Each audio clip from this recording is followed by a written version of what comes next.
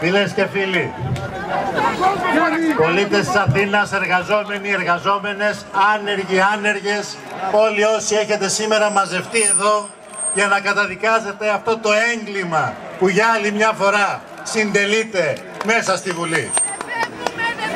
Θέλω να χαιρετήσω εκ μέρους της κοινοβουλευτικής ομάδας του ΣΥΡΙΖΑ τη σημερινή σας συγκέντρωση και να καταγγείλω ότι τούτη την ώρα μέσα στο Κοινοβούλιο διεξάγεται ένα πρωτοφανές κοινοβουλευτικό και συνταγματικό πραξικόπημα. Η κοινοβουλευτική πλειοψηφία αποφάσισε κατά παράβαση του συντάγματος και του κανονισμού της Βουλής να αποτρέψει το νόμιμο δικαίωμα της κοινοβουλευτικής ομάδας που αριθμεί πάνω από 50 βουλευτές ώστε να συζητηθεί η πρόταση δυσπιστίας που καταθέσαμε, η πρόταση μορφής εναντίον του Υπουργού της εκχώρησης, του ξεπουλήματος και της κοινωνικής διάλυσης της πατρίδας μας, εναντίον του Υπουργού των Οικονομικών του κ. Στουρνάρα.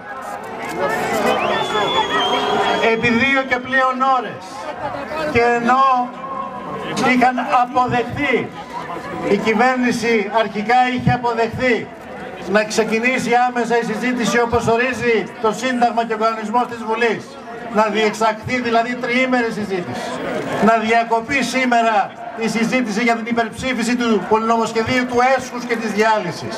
Ώστε να δοθεί η δυνατότητα στον ελληνικό λαό να ενημερωθεί πλήρως για αυτό το έγκλημα που έφεραν δύο η ώρα τα ξημερώματα της Παρασκευής προς το Σάββατο και θέλουν άρον άρον να ψηφίσει η κοινωνική πλειοψηφία ενώ αρχικά είχαν αποδεχθεί στη συνέχεια επικαλούμενοι μια σειρά από άστοχων νομικιστικών επιχειρημάτων τελικά απέρριψαν το αίτημα.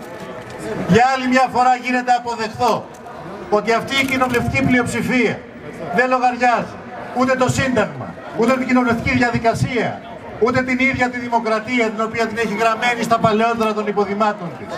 Για άλλη μια φορά έγινε αποδεκτό φανερό ότι το μόνο που θέλουν είναι να εξυπηρετήσουν την τόπια και ξένη ολιγαρχία, τα συμφέροντα της οποίας υπηρετούν ψηφίζοντας αυτό το νομοσχέδιο που διαλύει τις επαγγελματικές τάξεις, αφανίζει τους φαρμακοποιούς, τους αρτοποιούς, τους βιβλιοπόλες, τους κτηνοτρόφους και ταυτόχρονα διαλύει το ασφαλιστικό σύστημα, διαλύει τις εργασιακές σχέσεις και την ίδια ώρα δίνει χάρισμα τις τράπεζες που έχουν χρηματοδοτηθεί με τα λεφτά του ελληνικού λαού για να κρατιούνται ζωντανές στην τόπια και ξένη ολιγαρχία, στα τόπια και ξένα κερδοσκοπικά συμφέροντα.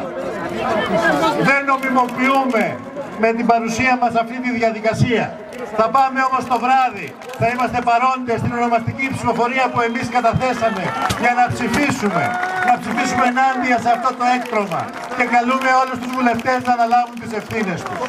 Πόσο δε μάλλον όταν οι μέρες και οι ώρες τους είναι περιορισμένες. Ο λαός μας θα κληθεί με τους αγώνες τους και με την ψήφο τους να δώσει τέλος σε αυτή την κυβέρνηση των εθελόδουλων, σε αυτή την κυβέρνηση της ολιγαρχίας τόπιες και ξένης. Η μέρα εκείνη δεν θα αργήσει. Θα δικαιωθούμε. Οι αγώνες μας θα έχουν αποτέλεσμα. Και σήμερα και αύριο και μεθαύριο όταν θα έρθουν εδώ να επικυρώσουν την τραγωδία της ελληνικής οικονομίας και της ελληνικής κοινωνίας οι εταίροι του Eurogroup για να συγχαρούν τον κύριο Σαμπαρά, τον κύριο Βενιζέλο και τον κύριο Στουρνάρα για αυτό το έγκλημα που διαπράττουν σε βάρος του ελληνικού λαού. Μετά τη σημερινή εξέλιξη, Υπουργός των Οικονομικών δεν υφίσταται. Διότι ο Υπουργός των Οικονομικών οφείλει να χαίρει της στήριξης και της εμπιστοσύνης της κοινοβουλευτικής πλειοψηφίας. Αυτοί αρνήθηκαν να γίνει συζήτηση και ψηφοφορία επ' αυτού. Πρώτον, γιατί τρέμουν τη δυνατότητα να διεξαχθεί ένας διάλογος με άνεση χρόνου για να ενημερωθεί ο λαός και δεύτερον διότι δεν έχουν τη δυνατότητα να υπερψηφίσει η ίδια η κοινοβουλευτική τους ομάδα τον Υπουργό της Διάλυσης, τον Υπουργό της Καταστροφής, τον Υπουργό της Εκχώρησης του Δημόσιου Πλούτου στα συμφέροντα.